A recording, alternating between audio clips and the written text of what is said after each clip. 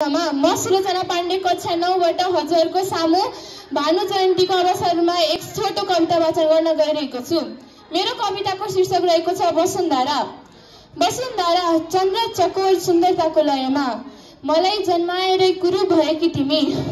यो सिङ्गारिक संसारमा कुरूपताको भए एकै पल पनि भएन तिमीलाई। मैले तिम्रो सिङ्गारिकको केसको रङ्ग लुटिदिए। मैले तिम्रा कोमल छालामा खडेरी लगाइदिए। तिम्रा तिम्रा आँसु लिएर यी आँखामा सपनाहरू भरे। मैले जुनेली तिम्रो अनुहारमा काला बाधा मडाइदिए तिम्रो अनुहारमा एक झल्को पनि पीडा झुल्किएन। कस्तो मुटु छ तिम्रो कत्रो मुटु छ तिम्रो। तिमी कतिन्जेल सन्तानको सवालको सवालमा ममताको पट्टी को जवाफ ओढेर बस्छौ।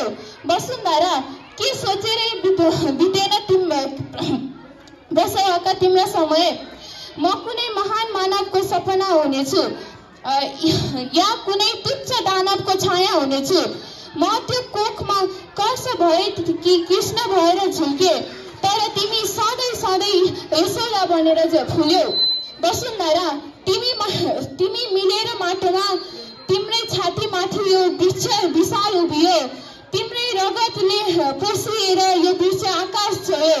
तर तिमी एक सौ टुक्रा पनि नखाइकन प्राण ममा मिसाइदियो। वसुन्धरा तिमीलाई थाहा छैन मैले कत्रो पाप बोकेको छु। मैले कत्रो ऋण बोकेको छु। जुन जन्म जन्म पनि तिरेर रोक सकिँदैन। वसुन्धरा जुन जन्म जन्म पनि तिरेर सकिँदैन। धन्यवाद।